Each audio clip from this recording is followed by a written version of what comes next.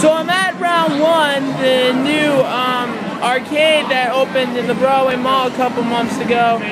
It's like crazy in here. Um, um, spent all my tickets on the card, and, the only thing I could afford was candy, but they had a lot of weird Japanese candy, including this.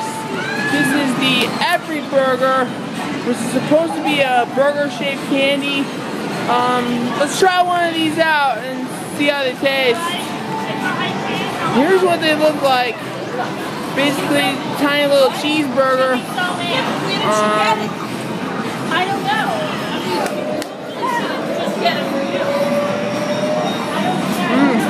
Actually, that's not that bad.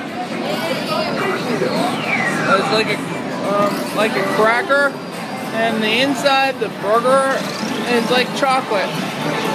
Um, I'm gonna give that a thumbs up. I'm gonna give it a four out of five. I can't. Um, four out of five. Um, I think the only thing that would make it a little better is if um, they had like a a white chocolate for like cheese or something like.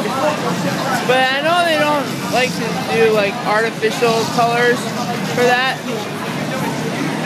But anyways, um, I'm gonna go um, see if I could find the rest of my team, and we're gonna head out.